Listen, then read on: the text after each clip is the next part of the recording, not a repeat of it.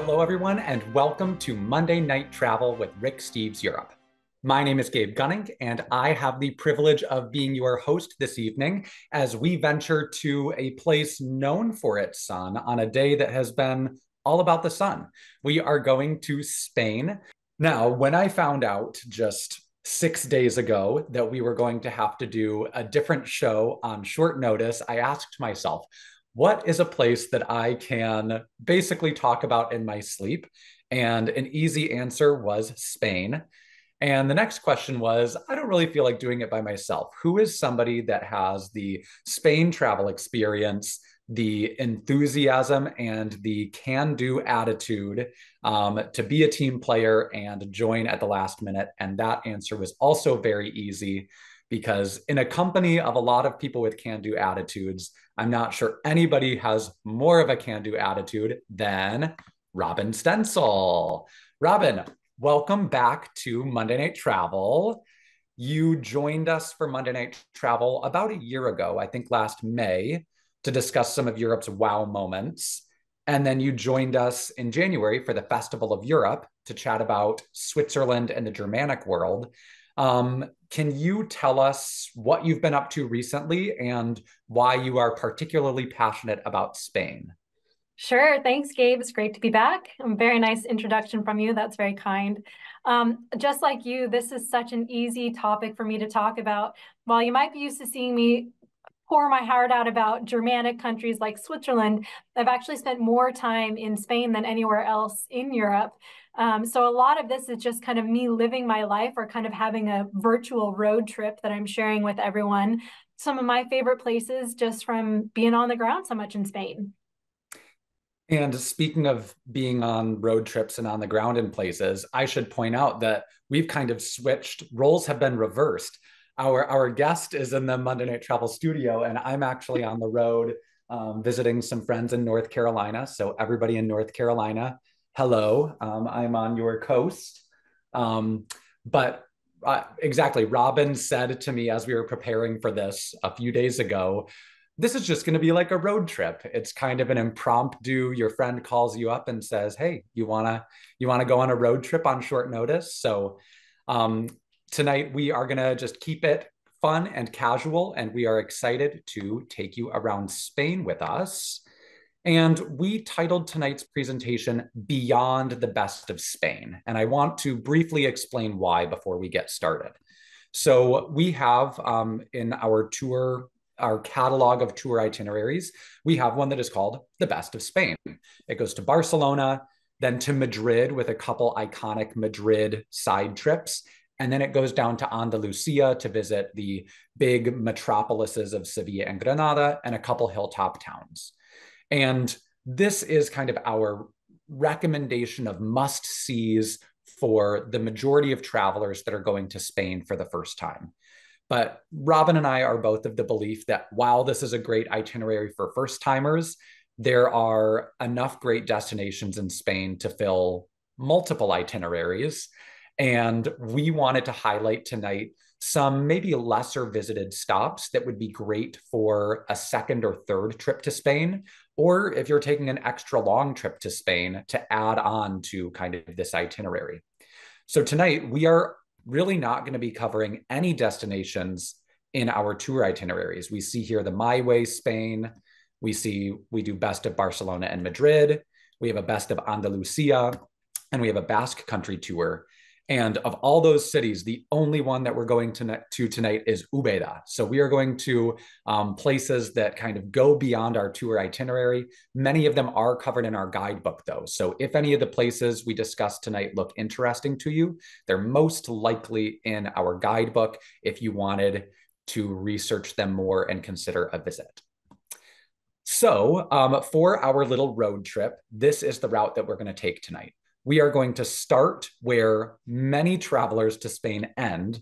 My parents are actually getting ready to do the Camino de Santiago, which ends in Galicia. And that is where we're going to start tonight um, in the northwestern corner of Spain. We're going to then work our way to wine country, to some mid sized cities in the middle of Spain, down to some lesser known hill towns in Andalusia. And we're going to finish with a little side trip to Morocco. Are you feeling ready to go, Robyn? I am ready, Gabe. I've got my wine. I've got my cheese. I this is going to be a great evening. Olé! Well, Robyn is going to be talking about some tasty food uh, later on. So that is something to look forward to. But for now, we are going to start in the provinces of Galicia and Asturias. Um, I like to call these Spain's Atlantic Northwest. Robyn and I live in the Pacific Northwest. Um, and so the northwestern corner of Spain borders the Atlantic Ocean and then the Bay of Biscay or Biscay to the north. Um, and I don't, I've never heard anybody actually use the term Atlantic Northwest in Spain. So I put it in quotes. I think it's a uh, Gabe Gunnink original trademark. Um, so don't necessarily say that when you're in Spain, but that's how I think of this region because as we'll explore, it also has a lot of similarities to the Pacific Northwest of the United States, especially in term of it, terms of its climate and geography. And the first place that we are going to go is to Santiago de Compostela. Um, so we are going to have Rick take us on a little trip to Santiago de Compostela now. The final leg of the journey leads through lush and green Galicia. And the gateway to Galicia is the rustic hamlet of O Cebreiro, perched high on a ridge the town welcomes pilgrims with ancient and characteristic stone huts. The church, founded in the 9th century, is one of the oldest on the Camino route. Pilgrims are sure to stop in for another stamp on their Camino credential. Green and densely forested Galicia shatters visitors' preconceptions of Spain. Pilgrims pass ghostly castles, simple farmhouses with slate roofs, and sleepy medieval villages. Here it's easy to see the Celtic heritage Galicians share with their cousins just across the sea in Ireland. After over a month on the trail, spirits are high as well-worn pilgrims reach their final stop, the city of Santiago de Compostela. Santiago has long had a powerful and mysterious draw on travelers. This neat and sturdy city is built of granite. Its arcaded streets are a reminder that winters here are cold and wet. Strolling across its squares and under its grand churches, you can imagine a time when the city was a religious and cultural powerhouse. Santiago's heyday was the 12th century when the notion of Europe was still in its infancy. It was a place where people from all corners came together, shared ideas, and then dispersed. In some ways, the very idea of Europe as a civilization gelled during this age, and Santiago played an important role. Apart from all the pilgrim action and its venerable architecture, Santiago is a workaday town. Its vibrant market offers a fine opportunity to sample the essentials of its hearty cuisine. Farmers sell their produce. The shapely cheeses are enjoyed by locals and visitors alike. And the seafood is fresh as can be. A Galician specialty is octopus, prepared local style, or a la galega. After the tenderized octopus is boiled in a copper pot, it's snipped into bite-sized pieces. It's topped with a mix of sweet and spicy paprika, sea salt, and olive oil, then served on a wooden plate. Eat it with toothpicks, never a fork. People here have their own distinct language, Galego. It's a mix of Spanish and Portuguese. Galicia's ancient Celtic roots are particularly evident in its music. With wailing pipes and thundering drums, the Celtic heritage announces itself loud and clear.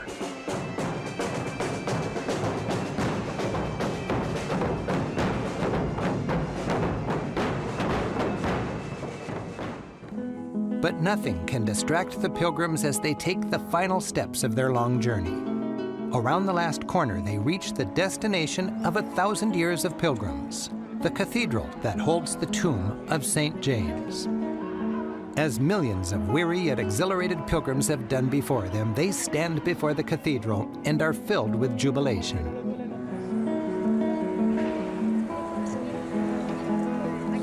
But the religious climax for many lies within the cathedral. Imagine you're a medieval pilgrim. You've just walked 500 miles. Your journey is done. Worshipping before the altar, you give thanks to St. James for a safe passage and you reflect on the lessons of your journey. And if you're here on a festival day, the Mass culminates with an enormous swinging incense burner. Gazing at the spectacle of this 120 pound burner flying through the air, you're awestruck by the wonder of God.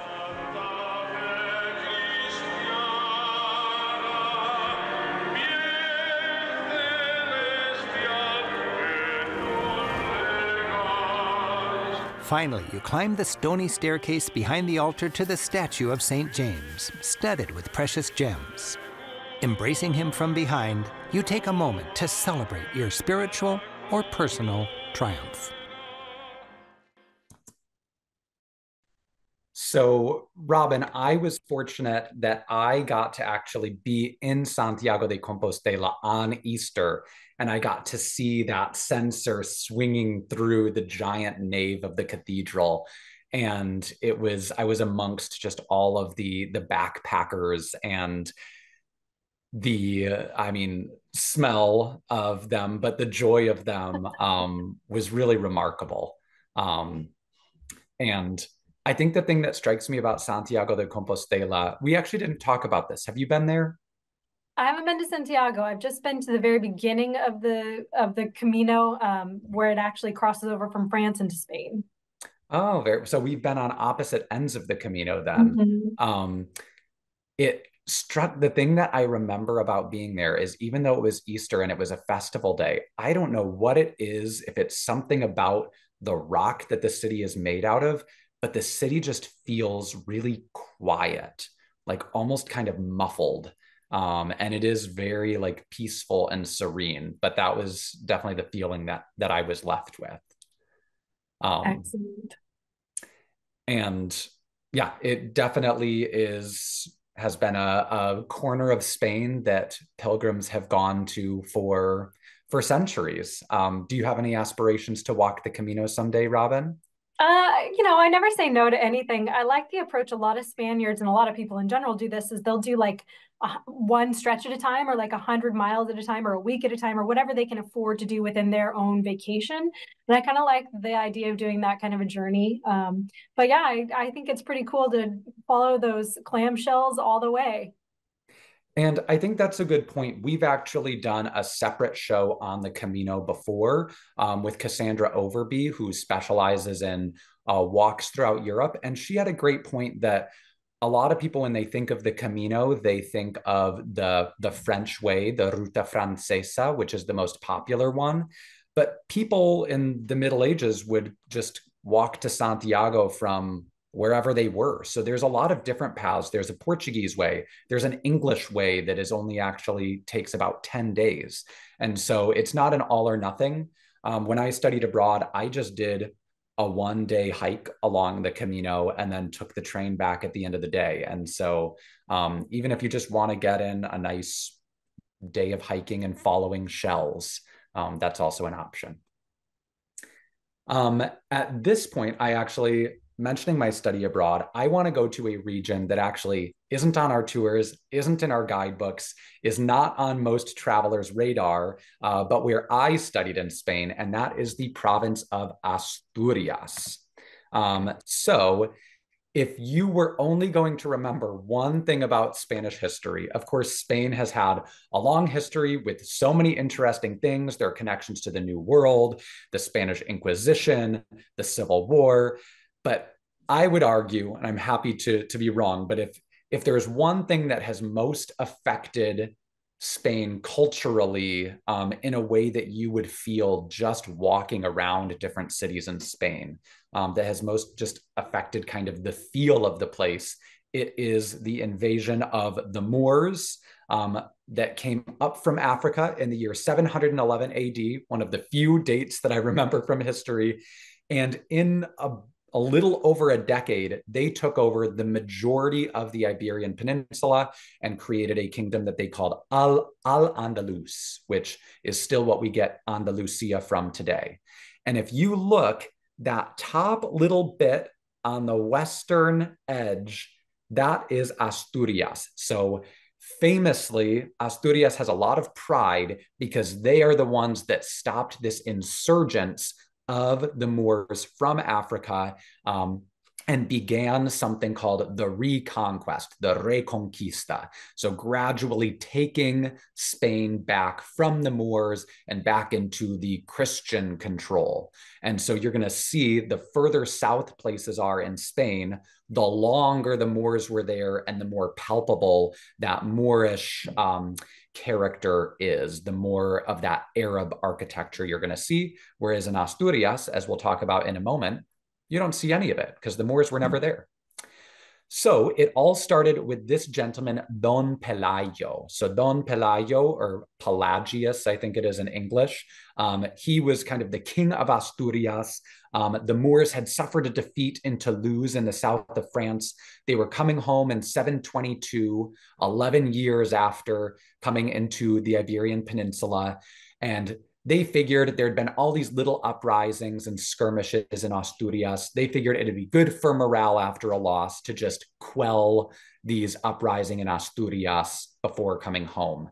And Don Pelayo and his troops, even though they were outnumbered, they retreated into the mountains um, and they were able to use the geography to their advantage and to defeat those advancing Moorish troops. You can see behind Don Pelayo's statue this cross, La Cruz de la Victoria, the cross of victory. It was said that he uh, carried a wooden cross that looked like this, and it has now become the symbol of Asturias. You can see this is the Asturian flag. It has the alpha and omega, um, and they like to say that Asturias has never been conquered. They then built way up in the mountains in this little, I guess, village um, called Covadonga. It only has like 58 actual inhabitants, but it is kind of this sacred site in Asturias because it's where this battle happened that started the reconquest. They built this Basilica de Santa Maria la Real de Covadonga, and it is striking. It just kind of trumpets up from the ground and it's made from this reddish stone that really pops amidst the green mountains. It's actually located in a national park called Picos de Europa, the peaks of Europe in the north of Spain. And it is just surrounded by mountains. We had to take a very long, zigzaggy bus ride to get here. Another incredible site of Covadonga is where um, Don Pelayo is interred, and that is in the Santa Cueva de Covadonga, the sacred cave of Covadonga. And it has this little chapel um, where Don Pelayo was buried, and it is over this beautiful waterfall. Um, it is really a sight to behold. Also, for anybody that's a hiker, again, this is in the Picos de Europa National Park. You can see that in the small text on these signs. So it's a great place for anybody interested in both a little bit of culture and history along with their outdoor pursuits. I mentioned the Cruz de Victoria, and it is now housed in the capital of Asturias called Oviedo. This is where I spent five months studying Spanish while I was in college. And it is said, the legend is that the son of Don Pelayo um, kept his wooden cross. And then eventually, a couple um, decades later, they decided to have it kind of encrusted in, uh, kind of covered in gold and encrusted in all of these gems. Carbon dating has said that this was not the original cross that Don Pelayo carried, almost certainly, um, but is still an homage to that victory. And it is housed in the Catedral de Oviedo, which we see here. Oviedo is kind of the cultural hub of Asturias. Here, this was just on one of my visits. I don't actually know what this um, kind of cultural meeting was, but you see people in this traditional dress. You can see a bagpiper there. I'm a runner, and actually, while I was running once in Oviedo, I just like happened upon a bagpipe concert. Um, so it really is true that you see a lot of bagpipes, or as they say, gaitas in this part of Spain. It also has more modern culture. This is the Teatro Campoamor, the theater. I saw a Spanish opera, a zarzuela show there. It's also known for its many sculptures, Oviedo. In fact, usually when my friends and I were meeting up, we would base it off of which sculpture. Most frequently, we stayed at the one on the right, which is just called La Gorda, which kind of the um, it is it's a Madonna and Child by Botero um, who actually died recently, a South American artist known for these rotund figures. Um, but La Gorda just translates to kind of the chubby one. and so um, that is where we would most often meet uh, before going out for the evening. Speaking of going out, Oviedo is known for the Calle Gascona, which is known as El Boulevard de la Sidra, the Boulevard of Cider. Their most famous drink there is this kind of uh, alcoholic apple cider, but the way that it's produced, it's a little bit flat and viscous. So when you pour it, this is my friend doing not a very good job. You're supposed to pour it at a height so that it kind of hits the glass and froths up they have waiters on the boulevard of the cider that will do this correctly, where they hold the bottle as far above their head as they can, and they hold the glass as far down as they can, and pour in a tiny stream that goes right in front of their face. And they pour you just about an inch, and you're supposed to drink it all at once before it goes flat again. And then the waiters just kind of go around to the next table, and you wait for them to come back again. Um, it's a very great social drink, low alcohol content, cheap um, good pre-gaming before a night out if you're a college student. Um, culinarily, the most iconic dish in Asturias is fabada asturiana. It is a stew that is made with um, chorizo sausage and fava beans. And my Spanish mama always lamented the fact that I was a vegetarian and that she couldn't prepare it for me. last kind of the last thing that i would say oviedo is famous for is it has three different kind of unesco heritage sites that are these pre-romanesque temples and shrines. So this one santa maria del naranco was initially built as kind of a royal summer residence. Um, it's just two floors. It was built in um, the 840s um, and later, a few centuries later, also became a um, kind of a, a church. And you can see here, this is kind of the interior, very ornately decorated. Um, and actually, this, I realized just as I was researching for this, that um, these arches are actually used in the Astu- tourism board of asturias's logo is these same arches and it says asturias paraíso natural natural paradise. So that's kind of how they brand themselves as yes they have culture but they have beautiful nature um, that is different from the rest of spain. Nearby, there is the temple that would have been used um, by the royals, um, San Miguel de Lillo, and you are able to enter those. And then Naranco is actually the name of this mountain right next to Oviedo. Oviedo is at the foot of it.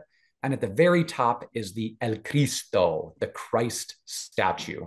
And it just kind of presides over the city. And it's a nice way, if you're new to the city, to orient yourself of always being able to look for where is the Cristo. He's always looking down um, from up above the hill. And of course, below him is the cross of victory, La Cruz de la Victoria. There is Oviedo from the hill. And I want to finish up with just a very quick visit. Um, Asturias has a lot of beautiful little kind of former fishing towns that are small and cute and have beaches. Two of them are Candas and Luanco.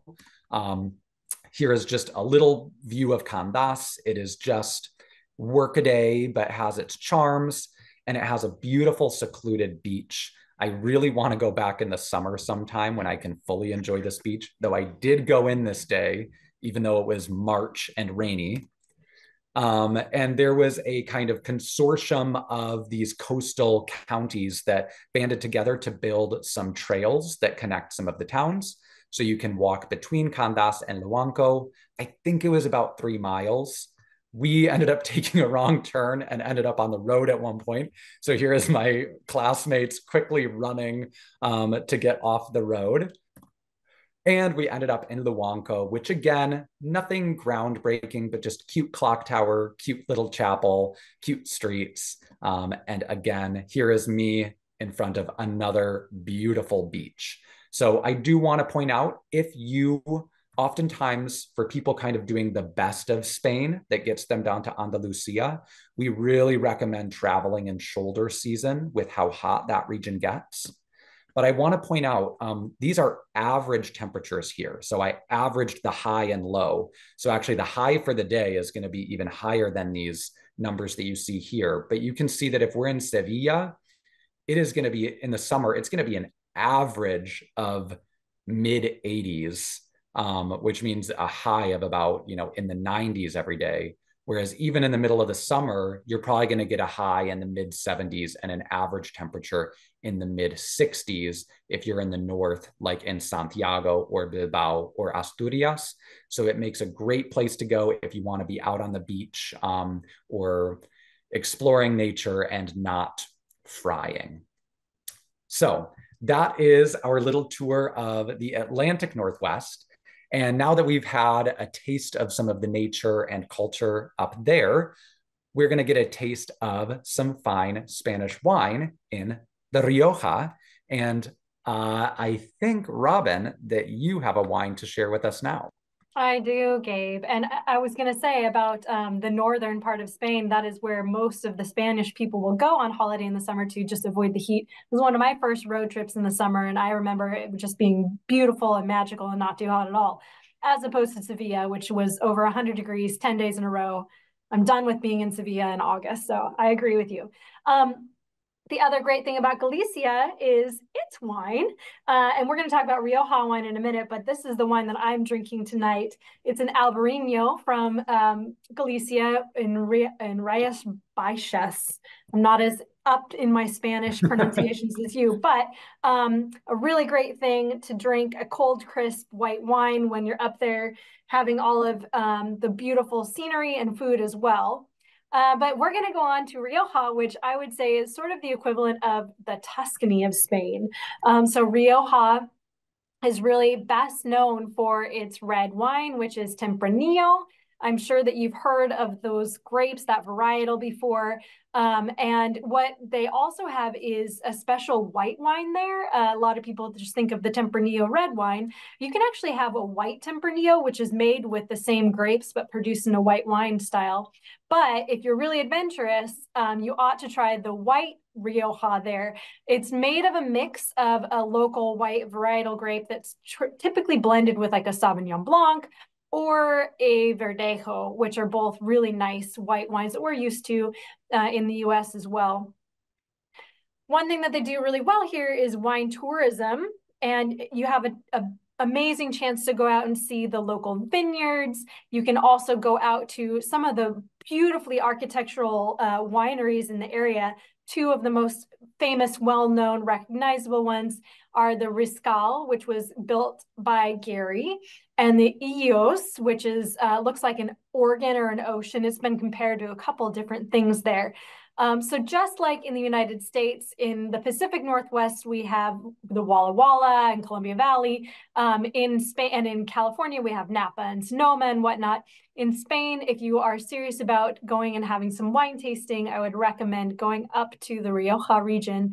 There are two main towns here, Ontañón and Logroño.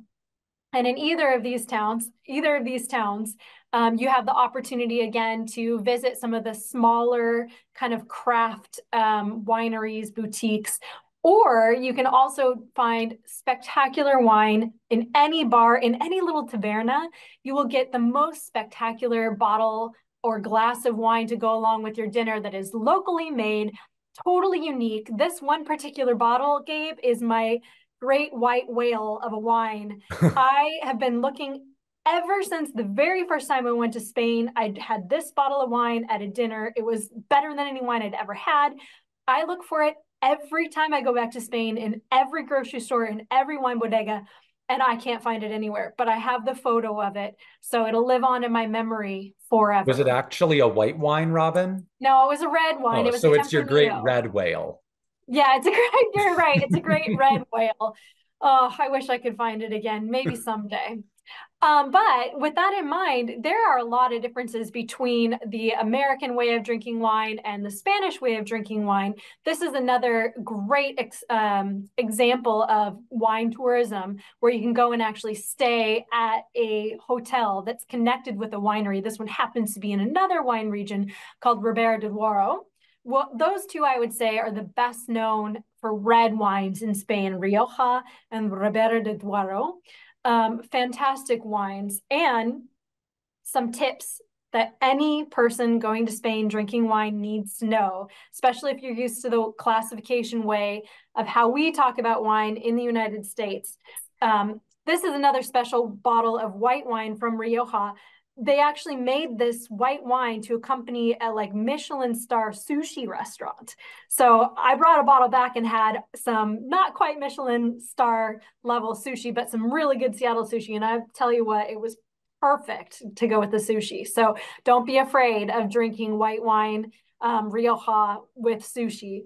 But what I wanted to point out is that um, even though I know you can't really see this label too well and it's in, you know, Japanese writing, um, on any bottle of wine that you pick up in Spain, you're not as likely to find the name of the grape. Like in America, we kind of call, we have the grape on the bottle. So you'll you'll say, I want a Merlot, or I want a Cabernet Sauvignon, or I want a Chardonnay.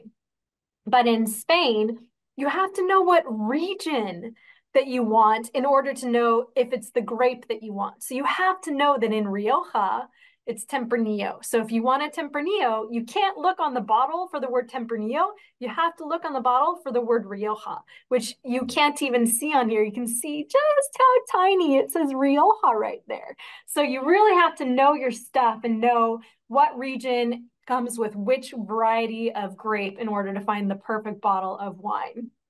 And Robyn, like I'm I'm not I enjoy wine. I don't know much about it how much could somebody expect to spend on kind of an average bottle of wine in the Rioja? Is it is it cheaper because you're drinking it where it's produced or uh, Gabe, I'm going to blow your mind and I'm going to blow anyone's mind who's watching who's used to US glass or bottle prices of wine.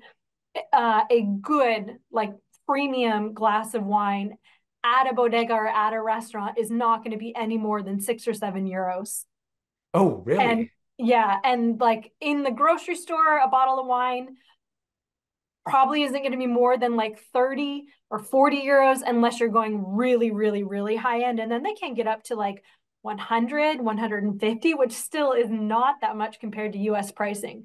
But I would say at any taberna or bodega or restaurant, you can ask even just for the house wine, and it will probably be like maybe with inflation like three or four euros for a glass, but it's going to be better than any table wine that you would ever find in the US. Well, that is, I mean, I, I do like Spanish prices. Um, it, it is a nice part of traveling in Spain. And Robyn, you shared um, your one of your favorite wines with us. How can um, is there any way that people in the US can find good Rioja wines if outside of the Rioja, if they want to get a taste before they go?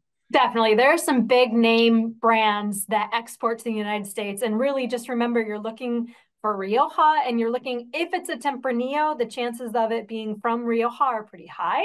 Um, so going into your local, even Trader Joe's, I think has a pretty decent like Tempranillo um, they they do. It's it's a screw top and it's not bad for what you're getting. So um, you can definitely find it. And then again, like some some of the higher end, well known Spanish like like Spanish wines like Vega Sicilia, um, you can find collectors will have it, but it's pretty expensive.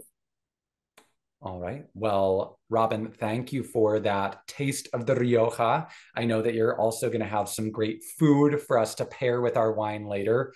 I hope you enjoy yours. Um, I'm going to keep working on trying to seeing maybe I can go back to the Cristo and see if he can turn my water into some wine for me. um, but in the meantime, we are going to continue on. And the next place that we are going to go is we're going to go from kind of the rural to a little bit more urban, we are going to look at some mid-sized cities of Castilla y León. Castilla y León, if we went back to the map, it's a big province that's kind of in the center north of Spain.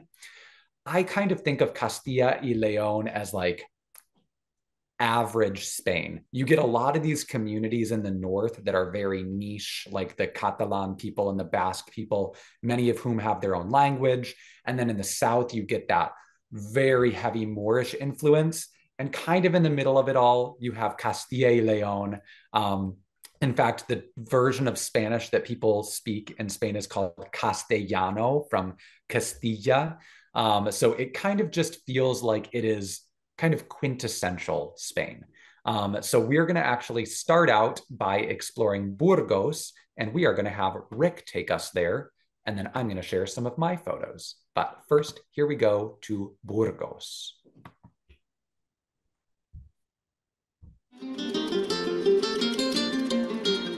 It's a pedestrian-friendly city straddling its river.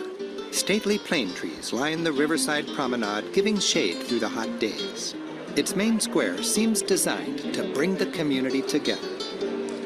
Today's Burgos feels workaday, but with a hint of gentility and former power. Like so many towns here in the north of Spain, it became important during the Reconquista, that centuries-long struggle to push the Muslim Moors back into northern Africa from where they came. Its position on the Camino de Santiago and as a trading center helped it to flourish. For five centuries, Burgos was the capital of the Kingdom of Castile. It's dominated by an awe-inspiring Gothic cathedral designed by French architects in the 13th century, with its lacy spires added by German architects in the 14th. The ornate exterior is matched by its lavish and brightly lit interior. In Spain, the final flowering of the Gothic age was the elaborate plateresque style. As was typical of Gothic churches, it's ringed by richly decorated chapels built over the centuries by and for wealthy parishioners. This chapel is dedicated to St. Anne, the Virgin Mary's mother. Its 15th century altar features the Tree of Jesse.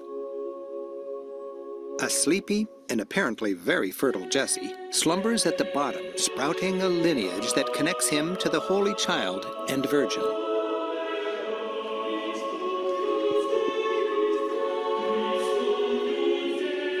This sumptuous chapel marks the tomb of a regional governor and his wife under a brilliant star-shaped vault. It's striking for its gracefulness and femininity.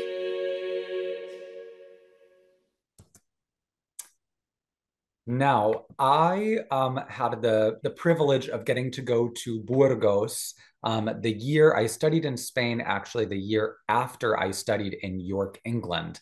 And it was so wonderful to visit another mid sized, former like medieval power walled city. It almost kind of felt like a Spanish York to me. Um, and it just, I just felt at home there immediately. Again, my classmates and I were more there in the winter to early spring. So we didn't have all the flowers on these plane trees coming out, but it was, it just it was one of those just really potent feelings of being transported to a new place, walking down this promenade with all of these knobbled trees, approaching through these knobbled trees, seeing two great sights, seeing the front gate to the city and seeing um, the rose window of the Gothic cathedral. Um, we have the Arco de Santa Maria was one of the 12 main gates of the original walls of the city. Um, and on it are a bunch of notable figures from um, the history of Burgos. One of them, there's also a statue here, is El Cid, the El Cid. Um, he was a kind of famous knight that both fought like against the Christians and the Muslims at different points, but really epitomized kind of this medieval knight. And the most famous Spanish poem of the Middle Ages was written about El Cid. And so he's a very famous figure. He was born in a village just on the outskirts of Burgos. Um, then we have the beautiful Gothic cathedral, which just sometimes you see these cathedrals that just kind of erupt directly upwards, but this one, it just feels like there's all these levels to it. Um, and as Rick said, inside you see these uh, kind of beautiful um, vaulted ceilings with all this intricate stonework. Another mid-sized city in Castilla y León that I want to point out is León itself. Um, it also has a very noteworthy Gothic cathedral with some of the best Gothic cathedral stained glass in Europe. You see all the pointed arches. Um, that's how we know it's a Gothic cathedral. Um, it's also known for there's the San Isidro Church, which this is not a great photo, but it has some very famous um, frescoes from the Romanesque period. We see all those rounded arches that indicate the Romanesque period. Um, it also has an early work of Gaudí. So we don't see Gaudi's kind of dripping facades, but we do see some of his flights of fancy with all of these turrets. Um, he was commissioned to uh, build this building, and there is now a museum in it, the Museo Casa Botines, about the construction. And lastly, um, there's the, they call it the MUSAC, the Museum of Contemporary Art, um, or Artes Contemporáneos. Um, and so I, I love, I almost feel like Rick talks a lot about second cities, and usually he is referring to really large, formerly industrial cities that are now becoming a bit more kind of cultured and chic, places like Hamburg and Liverpool. I almost feel like we need this category of like third cities. Cities, certainly Leon and Burgos had um, you know a lot of cultural importance back in the middle ages but it's not like they became these massive cities during the industrial period. But now they're just kind of these mid-sized cities. I looked it up um, the three mid-sized cities i'm talking about here um, i will mention salamanca in just a moment. They're all 125 to 175000 people the size of like between that's the size of topeka kansas to salem oregon. Um, and I just think all of them, I think it's nice sometimes to visit these cities that do still have some great cultural offerings, but they're not going to have the huge tourist crowds. And you can almost feel like you're just a local spending time in the main square. And it's something in between one of the massive cities and one of these tiny towns. And so I like incorporating some of those into my itineraries.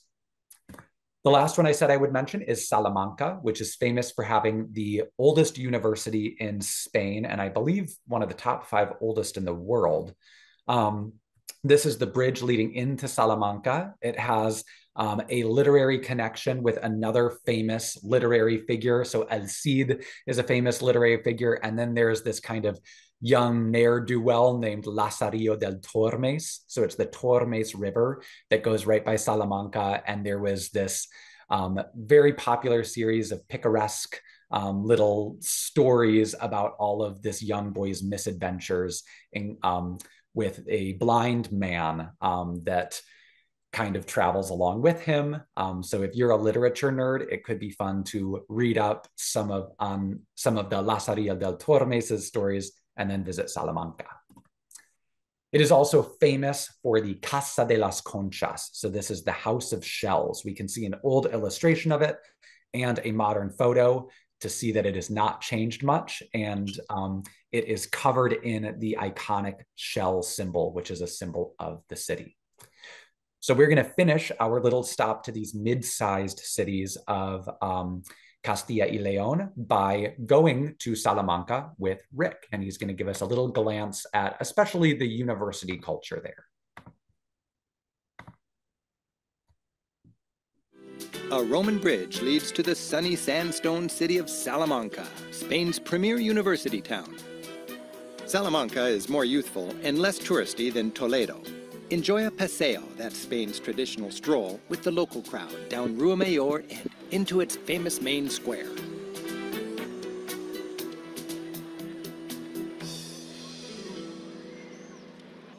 Plaza Mayor, built in 1729, is the ultimate Spanish plaza, a fine place to nurse a drink and watch the world go by. It's a stress-free, multi-generational mix that, to me, is quintessentially European. The handsome town hall overlooks the square. While most squares honor a king or saint, this one also commemorates commoners from the region.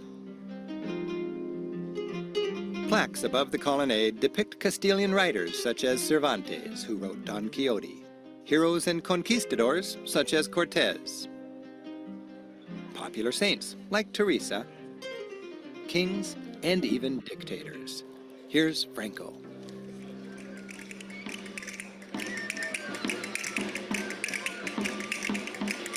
On Sunday after Mass, old timers gather here to shake their castanets.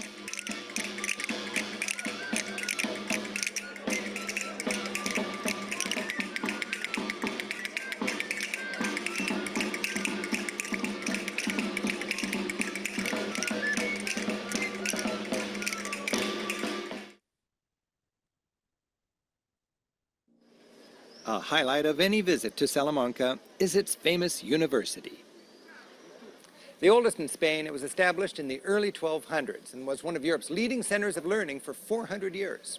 Today, while no longer so prestigious, it's laden with history and especially popular with American students for its excellent summer program. The university's ornately decorated grand entrance is another example of Spain's fancy plateresque style. The people studying the facade aren't art fans. They're trying to find a tiny frog on a skull that students look to for good luck. Okay, up the column, take a left, find the skull, the frog's on top. Now forget him. Let's follow the facade's symbolic meaning. The bottom part thanks King Ferdinand and Queen Isabel for the money to make the building. The middle section celebrates Charles V with the coat of arms of his Habsburg Empire, the world's only superpower in the early 1500s. Finally, as a statement of the school's open-mindedness, the top honors the Pope while putting him in the company of pagan gods. This venerable arcade leads to lecture halls where Spain's brightest minds grappled with issues raised by the dawning of a new age. Imagine Golden Age heroes paging through these books and pondering these globes. Cortez came here for travel tips. The narrow wooden tables and benches, whittled down by centuries of studious doodling, are originals. Professors spoke boldly from the pulpit. It was here that the free-thinking monk Luis de Leon taught in the 1500s. He challenged the church's control of the Word of God by translating part of the Bible from Latin into the people's language of Castilian. Because of this, he was tossed into jail for five years. When finally released, he returned to this pulpit and began his first lecture with, As we were saying. Courageous men of truth, like Luis de Leon, believed the forces of the Inquisition were not even worth acknowledging. Traditionally, Salamanca's struggling students earned money to fund their education by singing in the streets. This centuries-old troubadour tradition survives today as musical combos called tuna bands, dressed in distinctive outfits, play lutes, guitars, and sing. For a fee, they serenade fancy family gatherings.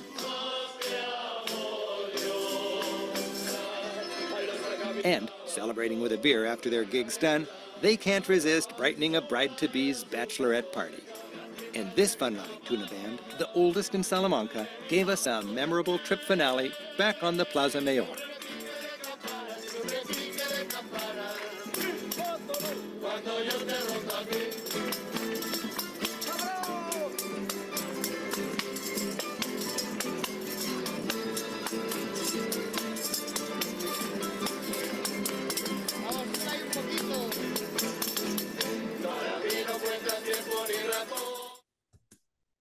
Hmm.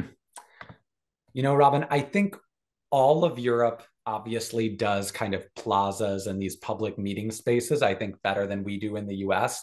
But I think that Spain does them particularly well. Would you agree with that? Yeah, I do. And I, I think it's hilarious because if you hit those public squares just too early, it'll be like a ghost town. But if you come back after 7 or 8 p.m., you'll think, where did all these people come from? No, wait, Robyn, are are you a morning person though? I am a morning person. See, Spain is great for me because I'm a night owl. So I'm like, yeah. oh, things don't start up until, you know, 9, 10 yeah. Night. Great. How do you cope with that as a morning person? Well, I, I was going to say this is the biggest tip that I have about traveling to Spain is that you just have to set your internal clock and set the actual watch to Spanish time. And that means that you don't eat dinner until 10 o'clock nine o'clock would be too early. 10 o'clock is probably average time that I eat. And it's so funny because when I'm there, I just adapt to it. But then as soon as I come home the next day, it's seven o'clock and I'm starving. well, I'm glad that your body has uh, adjusted to Spanish rhythms. And we're going to now go even further south into, I think, where siesta culture and staying up late is most profound, which is down in the south of Spain. And you are going to take us, a lot of people are familiar with the hill towns of Andalusia. You're going to take us to maybe a couple hill towns that we haven't heard of before. Possibly, yeah. Um, and what I would say about that is one of the one of the favorite things that I love to do when I'm um, taking a, a, road trip is actually not having a destination in mind. I mean, the destination is where I have to get to to sleep that night. But if I see an interesting little turnout, you know I'm going to take it. And I think that's where a lot of this comes from. Um, so yeah, with that, I'm going to walk us through a couple of the Pueblos Blancos, the little white hill towns, uh, of the Andalusia region, starting off with Zahara. And there are a couple here, they're in Rick's books, uh, specifically the ones that I'm talking about, these, these next couple ones, but you can see this kind of whitewashed hill town originally was there and they were they were kind of the last stand against the Moors, as you were mentioning before, Gabe. And um, these little enclaves of and villages where you really get off the beaten track. You really have to take the back roads. You really have to make an effort to get up there. And then once you get up there, you have this beautiful view, not only looking over the valley below and the and the lakes and the reservoirs that you have, but you get a, a real sense of how these communities were built up.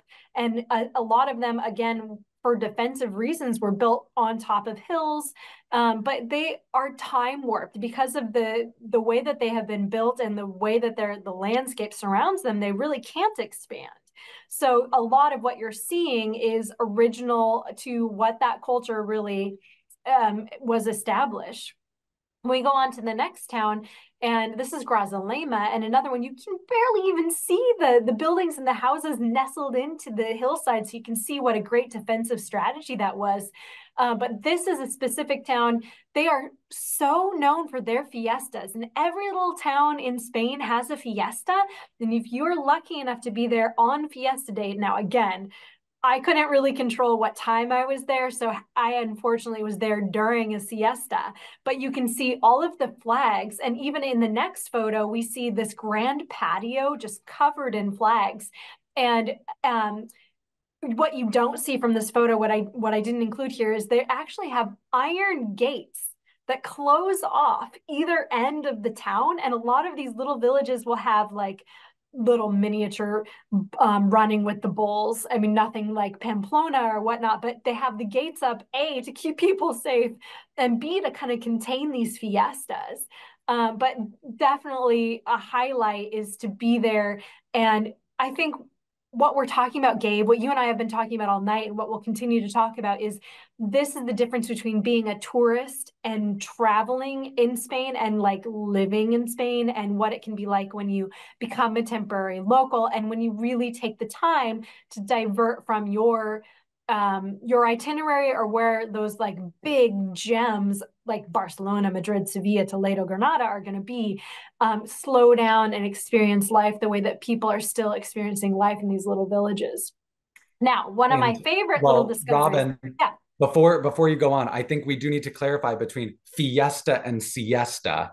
Um, totally. For those that aren't as familiar with Spanish, um, I mentioned siesta. Can you tell us can you clarify siesta versus fiesta? Yeah, definitely. So siesta is is when people take time out of the middle of the day to traditionally it was when the workers would go home or especially if they were farmers they would get out of the heat of the day go home go inside have a home cooked meal have a nap that's where we get the siesta from and then go back to work later in the evening when it had cooled down after they had digested after they'd spent time with their families it's it's less and less that you see this um, because of just the way that the world works now. But in a lot of big towns, you still have stores and shops that close in the middle of the day, mainly between like two and five. Um, a, on the other hand, a fiesta is a party. And so fiestas are festivals, and they they can be centered around a saint or a holiday or um, that town's like the naming of the town or the founding of the town. Um, they often are accompanied with lots of fireworks and quite a lot of beer. Thank you, Robyn. You bet. Now, this next one is, um, well, actually, we're going to stop at the Pileta Cave first. This is something really spectacular. If you're driving through Andalusia, I highly, highly, highly recommend that you um, make a reservation in advance for the Pileta Cave. This is an ancient, prehistoric, 40,000 year old cave. And when you enter, you get to go in and see prehistoric cave drawings. Now, there's only a couple places you're allowed to take photos, and this is one of them, but this is one of the original prehistoric cave drawings where you can take a photo. Um, it's phenomenal inside here and they have found like stalactites and stalagmites. This is incredible gabe. You couldn't take a picture of this. But uh, archaeologists have gone in and have studied the stalactite and the stalagmites and have found um, slivers of bone in the stalactite and in the stalagmite. And what they have uh, theorized is that it was the world's first instrument that that the cave dwellers would take bones and hit them against the, the stalactites and stalagmites, which are hollow, and they would make echoing noises for ceremonies, for working, for pleasure. This is what they are hypothesizing. Um, and it was like just absolutely spectacular to be in this um, in this location the most important thing to know about this particular site is that there is no website.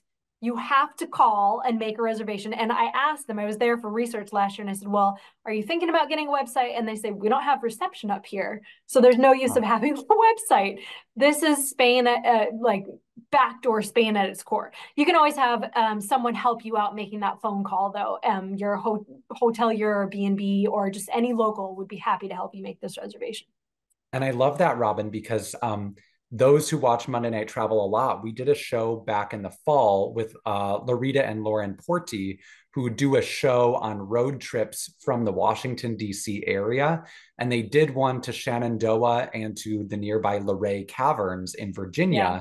And they have a stalag, stalactite, stalagmite pipe organ. So, yeah. kind of continuing mm-hmm. this prehistoric tradition. Right. And now this next uh, Hilltown I love. It was it's just a little hidden oasis, but I think I really like it because every time I see that name, it reminds me of my last name. it looks like my last name. Um, but this town in particular, it, it there actually are road signs pointing you in the direction. And if you happen to be driving past, I encourage you to go there. It is known for their tascas, which are little um, cave bodegas where you can uh, go in and have what uh, Spaniards call a caña, which is a little can of beer. So it, um, they're just kind of like smaller than what we would have, like a Budweiser can would be. Uh, smaller in ounces and you can go in there and have your little caña with the locals and this is um, something that is really unique and so these these tascas, these bars are under these overhanging rocks. And I think in the next photo, you even see better um, the architecture of these of the the dwellings there. And there's really like what's the point of going to this town? You have to go out of your way to to get there even but it's because it's so unique and it's not like anything else that you're going to see in the rest of the United States or in the rest of Spain. So it's really become popular with locals and with visitors to come see these famous tascas and then my favorite hill town and what uh, Gabe was mentioning earlier, we do actually go to this um, this place on our Andalusia tour. It's called Ubeda and it is known to be a, a Renaissance town. Uh, it's it's architecturally, you can see that uh, it represents the Renaissance of Spain. And as we go on and we see different photos, you'll also notice that the walls here again were built during the time of the Moors. So it's a medieval walled city overlooking all of the olive groves. And Ubeda is in the middle of the Jaén region, and this is where 80 million olive trees exist amongst all of these Renaissance buildings. So um, the other thing that this is known for, a couple of sites, if you are interested in visiting Ubeda, uh, you can go to the chapel. I think this is the next photo Gabe. Um, so yeah, the Chapel of El Salvador, which is actually a it's not really a church. It was more like a mausoleum. Um, and you can go in there and see how ornate it was uh, that this one of the most historic people of Ubeda had decided that he was going to build himself a chapel. Um, and uh, then the other really unique thing, because of how old Ubeda was, it's layers upon layers upon layers of history and culture. And this is the synagogue of the of the water that's on the other side of the screen. And um, what often happens in these very old towns is that as you start to rebuild and have construction, you often unearth things that were underneath the last version of the construction. So this was a building they were going to build more modern apartments on, and they had to do a little bit of digging to find out where the structure lied. And they uncovered an ancient um, bath, an ancient Jewish bath. And what's even more incredible, Gabe, is that probably before it was a, a Jewish bath, it was probably a pagan temple because you can barely see, but you see the light that's going into the well of the water.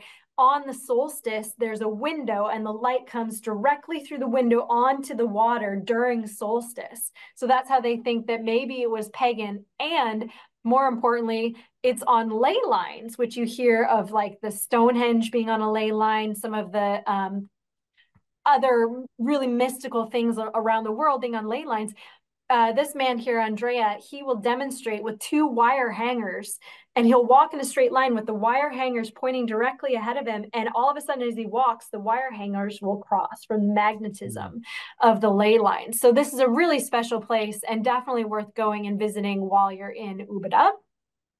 The other thing that Ubeda is known for is its craftsmanship from the um, what everything that they make out of rope. Um, so a lot of really beautiful things not only as souvenirs but really this is how they live. So they this is what they had available to them as the material for making all of their daily life um, things. And now it's turned into like a modern day craft uh, and then Gabe the other thing that they have there that they're well known for is pottery.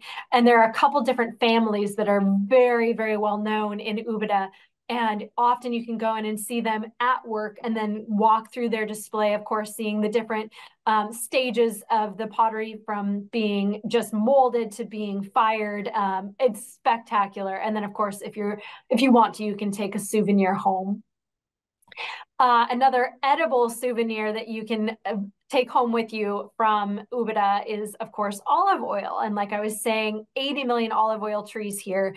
And uh, in Jaén, just known for producing their olive oil. And if you're lucky enough to go during harvest time, you can actually walk through the groves. And what you'll see is the workers and the way that they harvest the olives from the trees now is you'll see on the next on the next photo, you'll see um, that they have these sticks and they used to just like shake the branches with the sticks and then they would put a tarp around the bottom of the tree and that's where all of the olives would would fall and then they'd gather them but now gabe they're a little bit more um, modern than that and they have that you can see. They shake the branches with the sticks all of the olives fall down into the net and, and from there they go on uh, to be harvested the scene is from uh, a farm that we visit.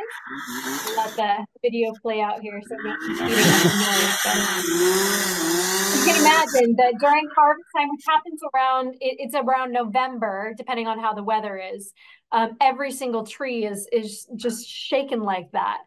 Uh, it really like kind saying, of breaks the like peaceful illusion of looking out over the groves of olive it, trees. It does, and in this particular um, farm uh, is uh, Spiritu Santo, and I think we'll see a photo next.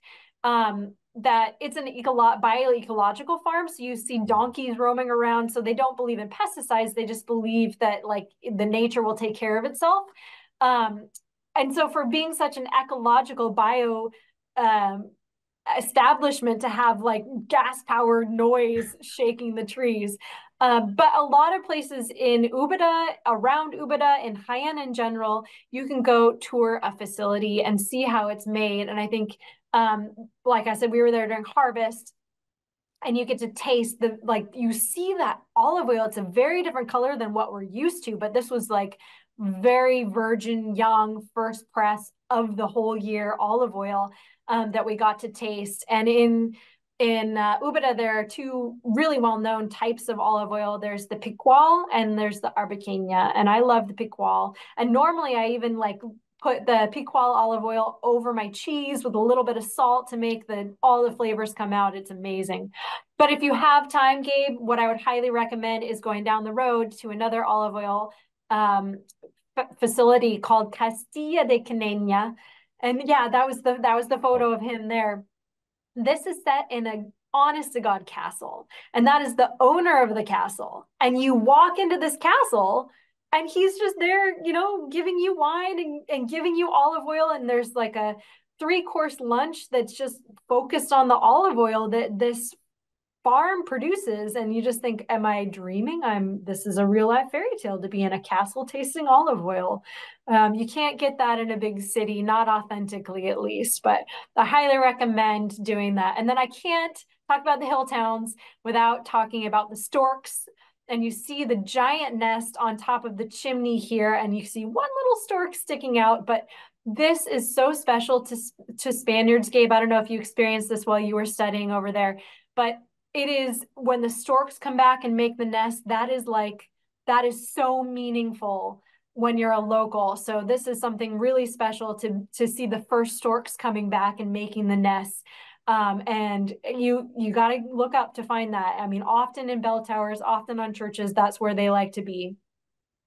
Now, continuing on, um, countryside always makes me think of food. And Gabe, I'm sorry, like your Spanish mama is sorry that you are a vegetarian, because although you can get probably get by on cheese and wine and a lot of good vegetables in Spain, um, some of their best known dishes include some sorts of meats um my some of my favorites. So first of all morcilla.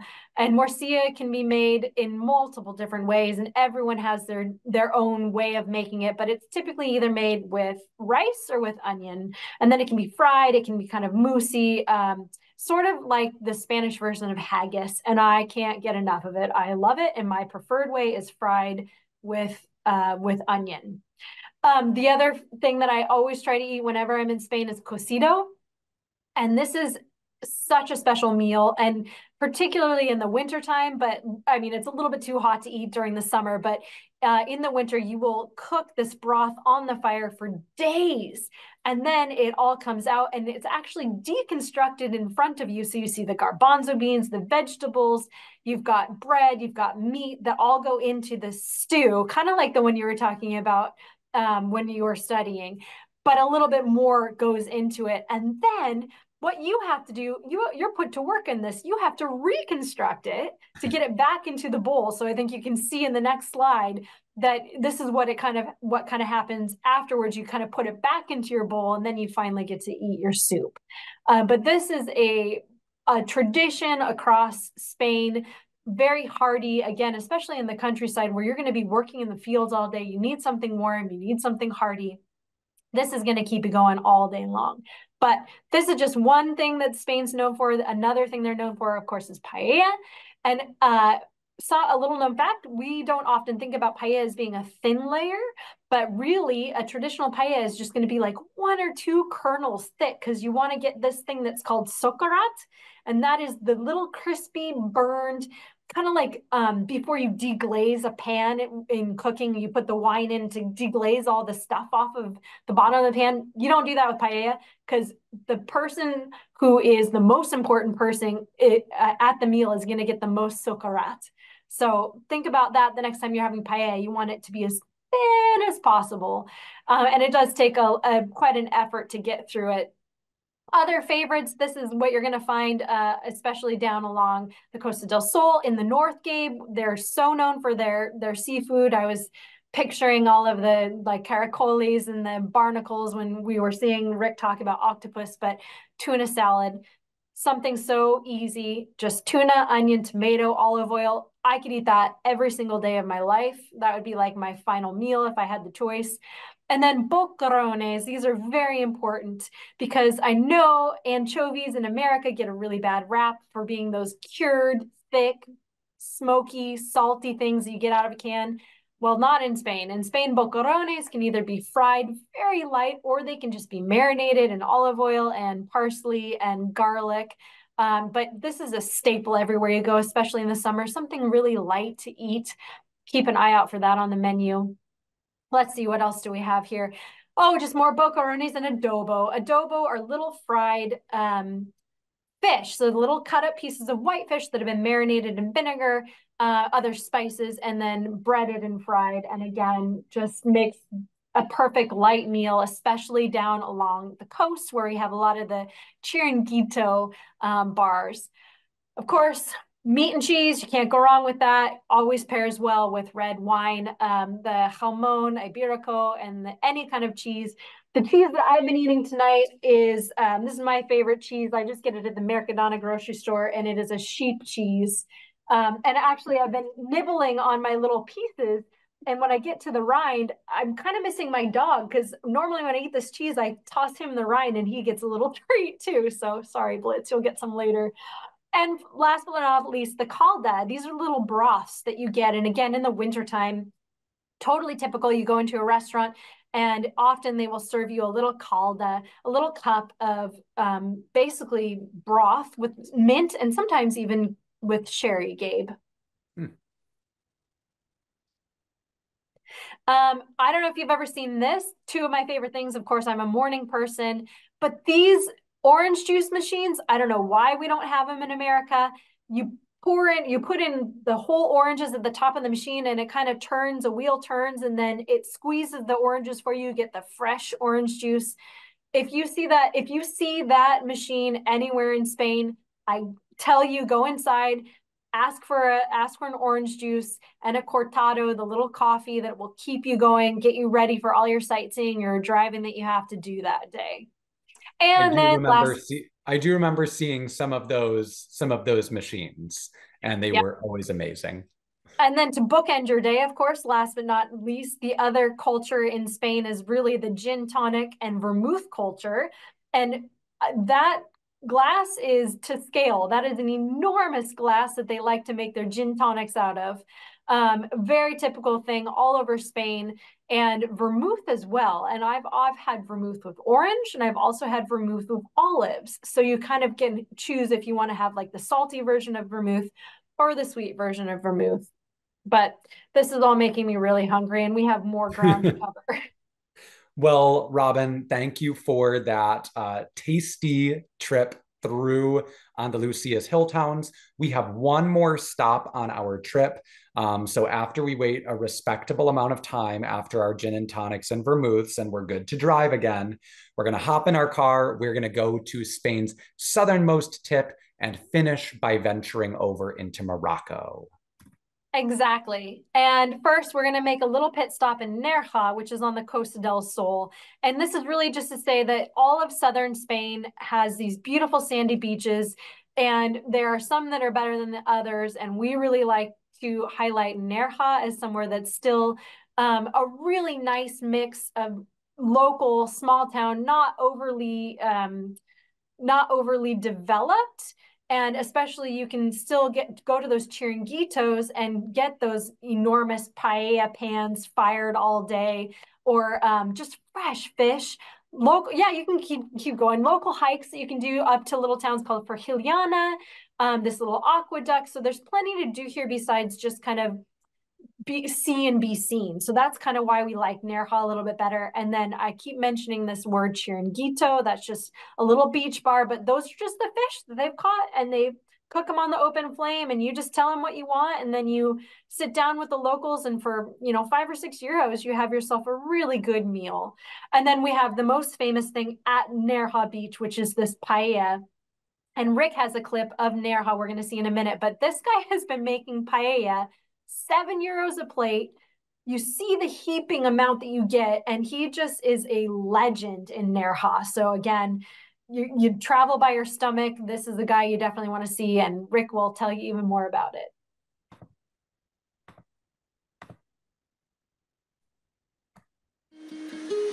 My favorite Costa del Sol stop is the resort town of Nerja. While capitalizing on the holiday culture, Nerja has retained some of its charm. The church fronts the square, which fronts the beach, and everybody's out strolling, eventually winding up on the proud Balcony of Europe terrace. This bluff, jutting jauntily into the sea, overlooks miles of coastline. A castle occupied this spot for centuries. Nerja's castle was part of a 16th century lookout system. After Reconquista forces drove out the Muslim Oh, that's right. You don't come to the Costa del Sol for history. You come for fun in the sun and relaxation. And relax is what countless expat residents do. Nerja's expats are mostly British. Like many along this coast, they actually try not to integrate. They enjoy their English TV and radio, and many barely learn a word of Spanish. Nerja has several well-equipped beaches. The one just below town retains its fishing village charm. Fishermen do their thing. While the tourists do theirs. The humble cottage evokes a bygone day. Spaniards love their little beach restaurants. A short hike takes us to a broader beach that appeals to different tastes. While it's packed through the summer, we're here in May when the heat and crowds are just right. Nestled snugly on the southernmost tip of Europe is the town of Tarifa. Passing through its medieval wall, we find the humble charms of a whitewashed town with hints of its Arabic past. Cafes and tapas bars complement the laid-back scene.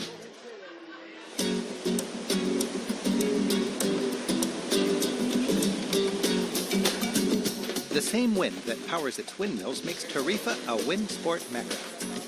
Just outside of town, a five-mile-long stretch of sand hosts young thrill seekers from across Europe.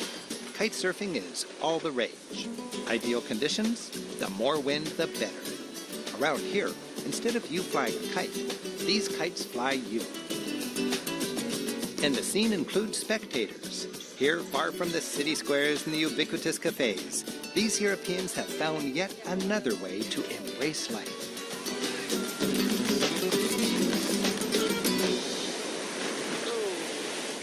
For me, Tarifa's top attraction, the fast boat to Morocco. Several boats a day make the intercontinental trip in about an hour. Tickets are easy. All you need is a few euros and your passport. The Strait of Gibraltar is where seas, continents, and cultures collide. Fishing, shipping, and movement of peoples, this narrow stretch of water has seen it all. And it's here that Islam and Christendom come together like cultural tectonic plates.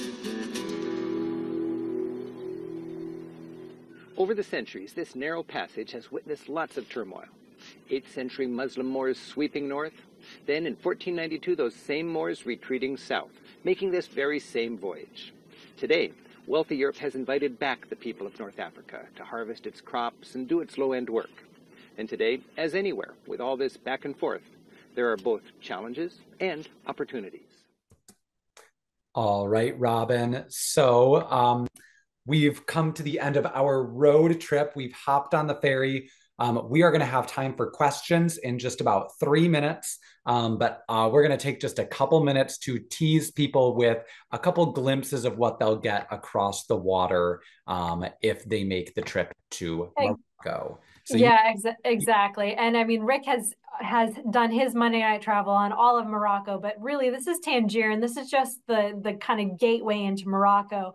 Uh, it's super easy to get there from Tarifa, and if you go to Tangier, you definitely want to go up to the Casbah. You want to stay in this tangled town area um, with like little little teeny tiny alleyways, and then almost every single guest house, a lot of restaurants will have these rooftop terraces where you can overlook the the whole city and the beach. And really gabe i think my favorite thing to do is be up here during the call of prayer and just kind of like we started this program talking about santiago and kind of just the calm and serene of uh, being in in that town really in in tangier that's what this is about. You just soak it all in and have this totally different experience, slowed down, just like we were experiencing in the hill towns of Spain, and really um, giving yourself a chance to experience life in a totally different place. The other thing I would point out is uh, at the top of the market, you can go into the market. It's not quite as big as the, the market in Marrakesh or Casablanca, so that's a little bit nice because you can't get too lost. But there's one special restaurant because we were talking about food. I have to include this. And it is the Saveur de Poisson. And you can see it, you don't, there's no menu. You just sit down and they just keep bringing you food and it is delicious. And um, when you leave, you get to take home your little wooden utensil with you, um, which is really special too. So it, there are just surprises all around every corner uh, in Tangier and so many like little um, antique shops, Gabe, where I have got like very special um, souvenirs from the past, stuff you don't really need, but beautiful ceramics and, you know, just things that remind you of your time there that and and what was so unique about it. Well, Robyn, I wish that we had another hour to continue on a road trip through Morocco, though, as you said, um, we do have um, a couple Monday night travel shows on Morocco. We did one with Lucas Peters. Um, and then Rick also did one last year on his trips to Morocco. So you can find those in the Monday Night Travel archives. I want to make sure that we have time to get to some questions. Um, before we do that, we have just a very brief word from our sponsor. As I mentioned tonight, we wanted to focus on lesser traveled to destinations in Spain. Um, the vast, all but one of which are not on our tours, but the majority of the places we've discussed tonight are in our guidebooks. Um, and so if you are at a point that you want to travel independently and explore some of these places, you can pick up a guidebook. And Robyn, I know that just last year you did some of the research for these guidebooks. I did in Andalusia. And uh, how was the guidebook research process for you? You know, there's just no there's nothing better than being on the ground talking to people face to face get i mean getting lost getting turned around figuring out all the things that you have to learn. Um, i make the mistakes or we make the mistakes so the travelers have an easier time. And yeah i don't think i didn't realize certainly when i started out using our guidebooks how unique it is the amount of time that our researchers put on the ground in Europe and as somebody who used the guidebooks long before I worked for this company, it makes me so happy to meet people like you that are doing that work and just I would innately trust you with my trip. Um, so you know, Gabe, someone's got to try all the cheese and wine. That's all I can say. well, we thank you for your sacrifices. Um, we're going to finish tonight, Robyn, with some a few quick questions, and we've talked a lot about this being a road trip. Um, and I've never actually rented a car in Spain, I must confess. Um, but we do have Judith that is asking, what are some transportation options for getting to some of these smaller places? And if you do rent a car, is Spain a good place to do that? Do you need any international driver's license? Um, Spain is a great place to rent a car. Uh, it's always easier to have an international driver's license just in case anything happens. Um, you, uh, especially in the south, there are a lot of bus connections that will get you to those little towns. You just have to have a little bit more time, and you have to be a little bit more on your own schedule. So you have to know you only get this amount of time in each city. Um, but it is possible. I, I I say if you're going to go to the lengths of getting off the beaten track, rent a car. You you can definitely do it. It's not a difficult place to drive around. I, I'll also say that, um, especially where I was in the northwestern part of Spain, there aren't, you get a lot of high speed rail lines connecting our best of Spain itinerary. But up in that corner, um, oftentimes the rail just isn't as good as an option. And there's the bus company that covers Spain, is called ALSA, A L S A. And I mostly took coach buses when I was going to some of these smaller towns. Um, we also have a question from, oh, where did it go? Um, oh, we have a question from somebody. This one is for me, um, asking uh, somebody is going to be going on our Andalusia tour and is a vegetarian and is wondering what to expect. I always say our tours do such a good job of accommodating different dietary restrictions. So you don't need to worry about your dietary restriction being accommodated. I do say, as a vegetarian, I would say 75% of the time, I feel like I get a meal that I'm equally as excited about. 25% of the time, I get a large plate of sauteed vegetables, which are still tasty and still um, are enough for me. But I think if you do have a dietary restriction, you need to accept that sometimes you're going to be making a little bit of a sacrifice, um, but that you're still going to be taken care of. And for me, Robyn, I lived off of Spanish tortilla. I yeah. just yeah. loved it. I was glad to live off of it. Frankly, I didn't really want to eat much else because I enjoyed it so much. Yeah, and I would just say, uh, especially on that tour, um, to look for um, uh what's the other it's not gazpacho it's the uh, um oh crap i can't think of the name of it. It's it's um almarain almaruzzo? It's like gazpacho but it's okay. it's everywhere. So look for gazpacho. Um robyn um this i'd be interested in um hearing your answer to this one. Gregory is wondering um is it necessary to be able to speak some Spanish in some of the small on some of these smaller towns. I think many of us are used to places with a large tourist infrastructure we can find English speakers, but as we get further off the beaten path, is it important to do some Spanish learning? Yeah, and Ben, our faithful Ben, just gave me some Spanish learning. It's salmorejo, that I was talking about, oh. not gazpacho. So it's the local kind of version of, of gazpacho. So look for Salmorejo on the Andalusia tour. I know you have a chance to get it at least one place.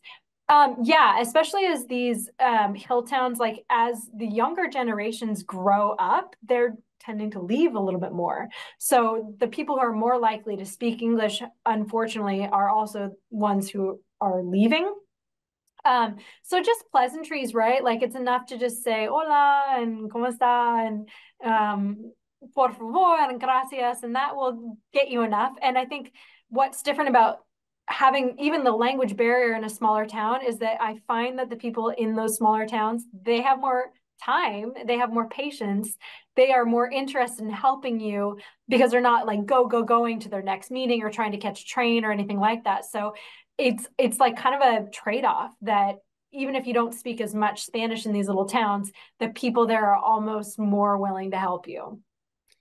And I, I agree with what you say, Robyn. At the end of the day, it it's a lot to ask of somebody to become fluent in a language just to travel there. Um, but there's a long way that you can, there's a lot, it goes a long way to just learn a few phrases, both logistically, I remember traveling in Italy once. I don't speak Italian, but I learned a lot of just kind of landmark vocabulary. And sure enough, I got lost on a run, but I knew how to say train station and ask where the train station was because I knew how to get from the train station to my to my hostel. Yeah. Um, but also just person personally, it builds a lot of mutual respect to show that you respect their culture enough to at least learn a few basic phrases.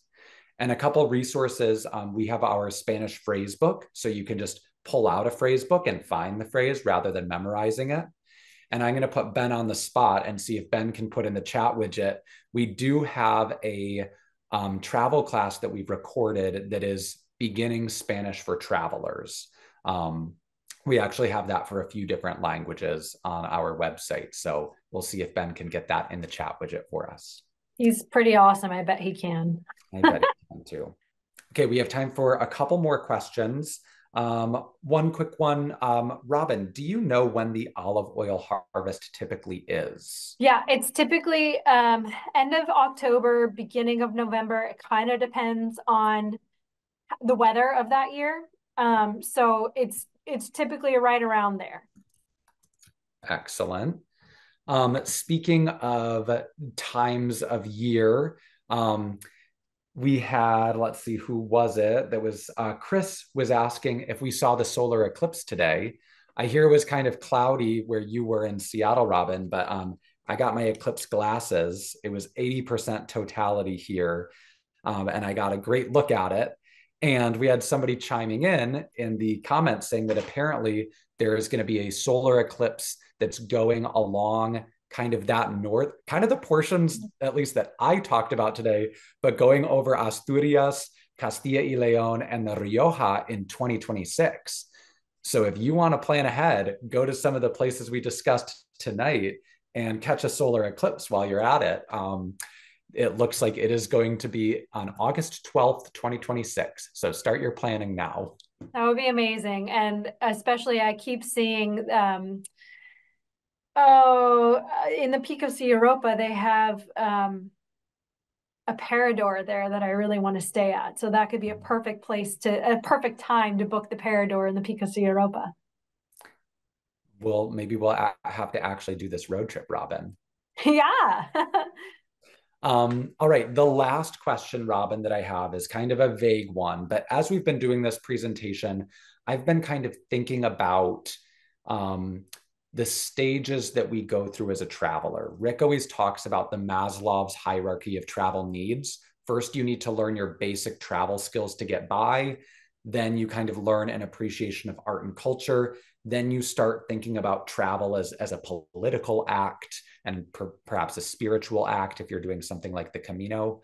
Um, how do you we've kind of talked about you know doing the best of for the first trip and then maybe as you get to a second or third trip to spain investigating some of these places. How have your kind of priorities and values changed throughout your travels especially in spain? Um well i mean i think uh, like my life has evolved around spain. So um I don't, I think it's particular for me, it's particular to Spain why I feel this way. Um, I haven't got there in other places quite yet. But I think the more, like you said, the more comfortable you get with getting around and what are the customs and what are some of the hangups or the stumbling blocks and the hurdles and how can I get over them, um, that you kind of get beyond like what's aesthetically pleasing and you get more into like what do I like about life here um, and I have I have just found that I really enjoy the Spanish people, the culture, the way of life there. Um, so it it feels like home rather than feels like travel. And I don't know. I don't have like a, a manual of steps of of telling other people how they can get there. I think it's just finding the place where you first of all feel good whether whatever level you're at at the hierarchy of needs if you instantly go somewhere and feel attached to it or feel drawn to it you're probably going to go up that ladder a little bit faster than a place that you don't care so much about. I think too for me i still i want to be clear every time i travel i do try to um, engage with the history and the art and um, go to a few museums and cultural sites. And that's always something I want to be doing. But I do find that the more times I've visited a place, the more likely I am to check out sleepier towns or these kind of more workaday mid-sized cities that don't have as many or a high density of cultural sites but I don't think I could get to that point without having done some of the more culturally intensive places first to feel like I really understand the culture and values and history and art that underpin society there that all these Spaniards have grown up their whole lives learning about in school. Um, and so I do think that's interesting how I still think it's so valuable to go to those more blockbuster cities and see those blockbuster sites um, and then kind of gradually explore these more second and third cities. The only thing i could think of of recommending is is taking a do less approach right? If you wanted to accelerate this ability to get to that point of of feeling like part of the culture without taking the time to go to every big site is like go to the smaller places and do less. Because I think sometimes in the big places you feel like I have to do this or I have to see this or I'm here I have to go here and in those smaller cities or or when you have more time you're not pressured to do something at every minute of the day and so you you kind of like take that wall down and just kind of accept what's going on so maybe that's a way of accelerating it I love that. I always say, I always tell people because I hear a lot of people saying they have to do things. And I always say, you don't have to do anything. Everything you're doing, you choose to do. So yeah. Thank you, Robyn, for coming along on this journey. I could talk with you about Spain for another hour, but I know we've already, as many as all great road trips should, this road trip has gone a little longer than we had planned. Thank you to all of you that uh, stuck around. I hope that you found some places that you are interested in going to on your next Iberian adventure. Um, and we will see you next week when we are going beyond Europe altogether and we are going to explore Fiji with Manal. We look forward to seeing you all then.